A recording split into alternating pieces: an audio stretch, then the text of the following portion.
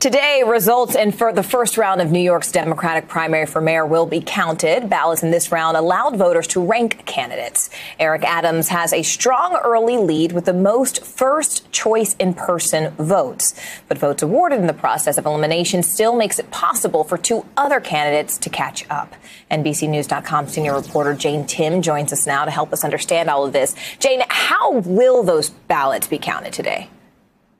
Hey, Morgan. So I know the process can seem a little confusing, but once voters do it, they tend to understand it and broadly tend to support it. So basically, how it works is you rank your candidates one through five on your ballot. And then if no one wins a majority on that first round, as happened in the New York City mayor race with Eric Adams getting 32%, they eliminate the lowest scoring candidate and then have those ballots go for those voters' second choice candidate. So if you say you voted for, you know, red, green, and blue, and blue doesn't get any ballots, blue's second choices go for their their, their second choices are counted in those ballots.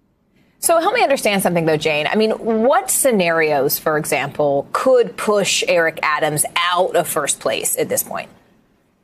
Yeah, so it depends on if he's alienated all of his rivals' supporters. So if the other candidates in the race really just didn't like Eric Adams and he only was in, supported by his core base, uh, that's where you could see another candidate like Maya Wiley or Kathryn Garcia right. catch up because they're about 10% behind him. But there's a lot of votes in the race. You know, Eric Adams has 32%. So if, you know, 70% of other people, you know, a good chunk of them supported one of his rivals instead of splitting those votes between the two of them, the leaders, you could see someone catch up, but it's hard to overcome a 10% lead, even in ranked choice voting. Yeah, I mean that's a pretty big lead. But but but since those absentee ballots still need to be counted, Jane, can you give us some idea of when we'll actually know the winner of this Democratic primary race?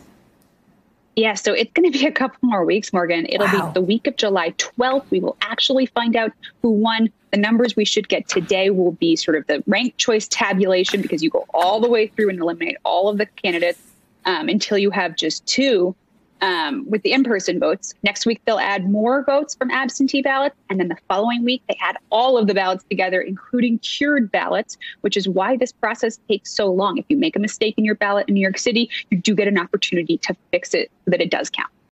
Hey, NBC News viewers, thanks for checking out our YouTube channel. Subscribe by clicking on that button down here and click on any of the videos over here to watch the latest interviews, show highlights, and digital exclusives. Thanks for watching.